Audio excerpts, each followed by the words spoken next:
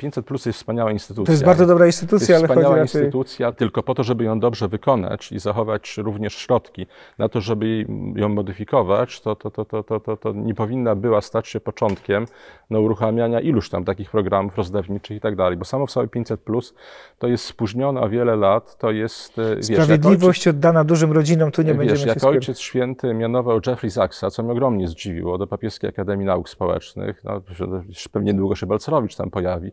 Ja naprawdę się dziwiłem, dlaczego nie Cezary Mech, dlatego że mamy ekonomistów, którzy rzeczywiście pracowali dla rodziny. 500 plus to jest wynalazek Cezarego Mecha z kampanii Prawa i Sprawiedliwości z 2005 roku, wtedy nie zrealizowany, dopiero po 11 czy 11 latach chyba w 2016 i to jest kapitalna rzecz. Natomiast to nie znaczy, że y, tą konieczną instytucję, że ta konieczna instytucja w sytuacji, kiedy rodzina tak naprawdę no, ma prawo do wyrównawczej pomocy społecznej, no bo skoro y, im większa rodzina, tym większe podatki pośrednie y, płacone y, w- sklepie i tak dalej, y, VAT-owskie, a przecież jest ogromna część naszych podatków, no to przecież jakiś, musi być jakiś mechanizm wyrównawczy. No i to, że 500 plus.